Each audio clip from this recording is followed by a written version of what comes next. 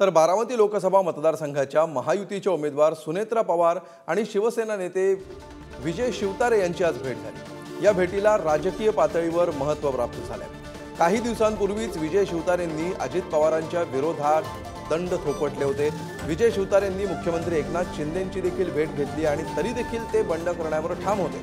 मात्र एकनाथ शिंदे आणि देवेंद्र फडणवीस यांनी जेव्हा त्यांची भेट घेतली तेव्हा विजय शिवतारेंनी बंडाची तलवार म्यान केली. pom, pom, pom.